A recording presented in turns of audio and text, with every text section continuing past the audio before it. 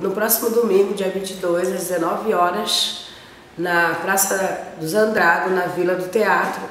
a gente vai estar lá fazendo sarau e a gente sempre participamos do sarau, a gente participa muito frequentemente das atividades da vila e a vila é, né, tem vários, vários grupos de teatro e nós estaremos lá é, falando o que foi para nós 10 anos de luta, o que avançou, trazer à tona muitas coisas que geralmente fica não só para o movimento, mas a gente tem que passar assim, passo a passo, né, o que aconteceu durante esses 10 anos, qual foi os avanços, qual é a, o retrocesso de não andar da justiça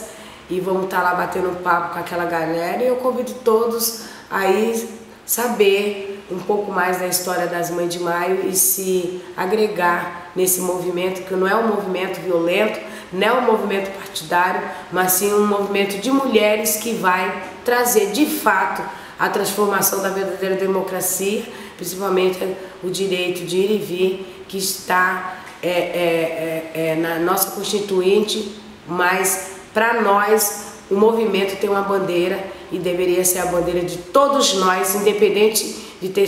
tido um ente querido assassinado, né, pelo braço armado do Estado, né, e também dizer que a luta das Mães de Maio tem que ser agregada pelo esse exército de filho que nós construímos ao longo desses 10 anos como uma luta pela vida. Esse é o bem maior, é uma quase uma pétula da nossa constituinte que tá, essa cláusula ela foi é, barbarizada por direito, por, por, é, por direitos de partido que acha que os direitos são dele pela vida dos nossos filhos. A briga de siglas partidárias não pode ser fatiada a nossa Constituinte, porque o direito à vida é o direito de todo cidadão brasileiro.